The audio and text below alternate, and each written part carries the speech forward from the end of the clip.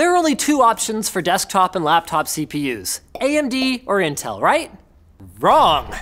Or at least sort of wrong. You see, it wasn't too long ago that in China, there were factories churning out x86 compatible CPUs that weren't actually made by either of those companies. But hold on a second. Everyone loves importing Chinese made goods on the cheap, so why didn't we see them on store shelves all over the world?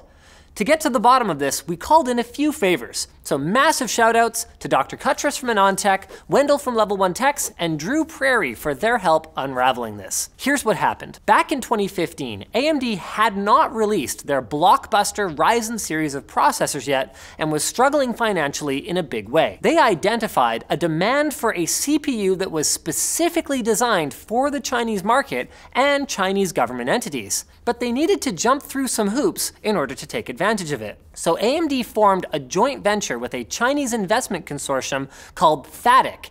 And while the joint venture was partially owned by AMD, it operated separately to a large extent. Now, of course, to build an x86 CPU, you need a lot of expertise, and AMD wasn't going to just give away all of its secrets to how it designed its processors. So instead, AMD provided the joint venture with portions of its intellectual property that allowed it to build processors based on existing AMD core designs and make changes only to things like the processor's input-output controls, or I.O., as well as cryptographic engines possibly due to a desire of the Chinese government for added security. The resulting chips were primarily designed for the server market, and even though they started turning up months before AMD actually launched any Zen-based CPUs under their own brand, it turns out that they're quite comparable to first-generation EPYC processors and are even pin compatible with EPYC motherboards found in other countries. But then, hold on a sec. If AMD went to the trouble of starting up a joint venture in China, does this mean that you might see Chinese CPUs become a real alternative to the market dominance of Intel and AMD proper?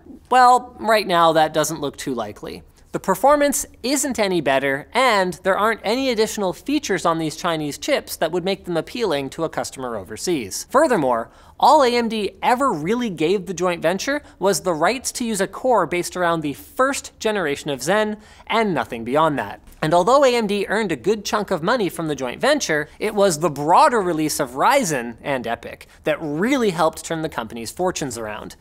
In fact, the same AMD and Intel chips that you find in other countries can still be bought in China, so it isn't as if there's a glaring need for a third source of CPUs. And it also appears that the joint venture might be inactive by this point anyway. So not only has AMD not given the joint venture any Zen designs past the first generation, the Chinese chipmaker is now on the US government's entity list, meaning that the joint venture can't do business with US companies, sell to any other entity on the list, or receive technology from American firms. So there are a number of these chips out in the wild currently, but it is unlikely that they're making any more. Of course, with AMD writing itself with the success of Ryzen and EPYC, this isn't exactly a huge loss for them, so I wouldn't anticipate tons of x86 chips from other companies anytime soon. But even though the chips are only a few years old, they're already a collector's item if you can somehow find a way to get your hands on one. Just don't expect it to make your PC any faster. It's affordable to fix or upgrade your consoles with iFixit's parts and tools, even the Nintendo Switch. They've got all the parts you need to replace and make it run like new.